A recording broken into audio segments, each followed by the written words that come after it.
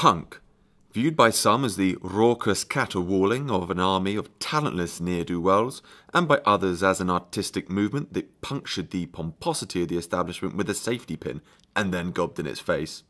Either way, it happened. It had a huge impact, and here's how it was born in the UK. It's the mid 70s, and the UK is a place of industrial action, the three day week, and the feeling that the energy of the 60s hasn't quite translated into the floral, free love utopia it promised. In music, stadium rock and ABBA rule, and disco is starting to send its sequin soaked glamour across the Atlantic. For some young people, the dichotomy of what they see in their streets and what they see on top of the pops is too much to handle. It's time for a change. The 60s tried love, they will try anger. On the Old Kent Road, Steve Jones, Glenn Matlock, and Paul Cook all meet at the fashion store Sex, owned by designer Vivienne Westwood and her boyfriend Malcolm McLaren.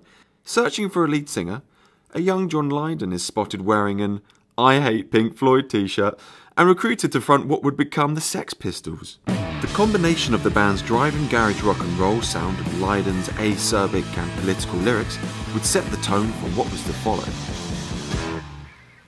Throughout 1976, the touring Sex Pistols would start to influence many artists around the country, producing pockets of punk that would grow in their own directions. Singer with the pub rock band The 101ers, Joe Strummer, saw the Sex Pistols and instantly started the clash.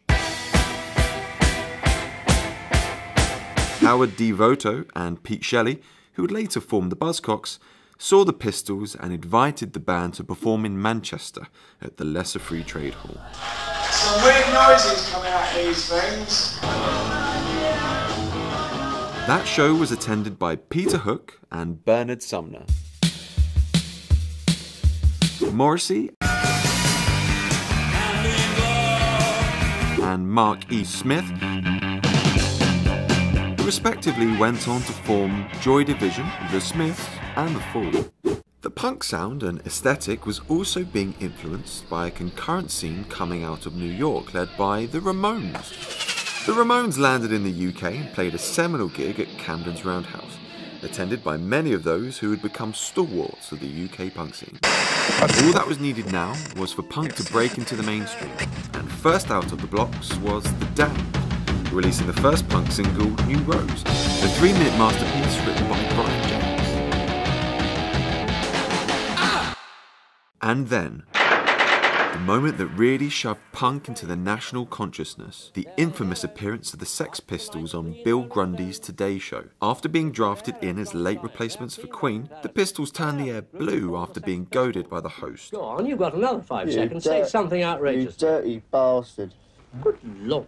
This led to headlines across the national press and the cancellation of their upcoming Anarchy tour of the UK. Heading into 1977, an army of bands had formed with a new sound and attitude, ready to turn music, art, politics, and culture on its head. So, that's the story of the birth of punk in the UK. But how exactly did punk change the cultural landscape? So one of the ways that punk really affected culture is you have, for the first time in the UK, low culture transcending into higher culture.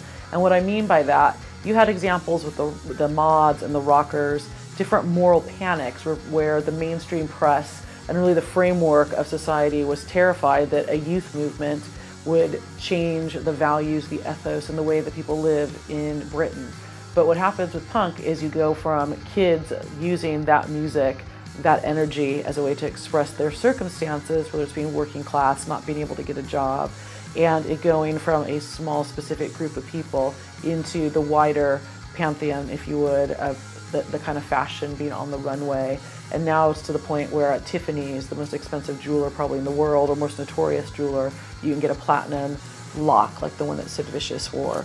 So it's the ultimate going from something that is impactful and meaningful for a specific group to something that's just a fashion statement.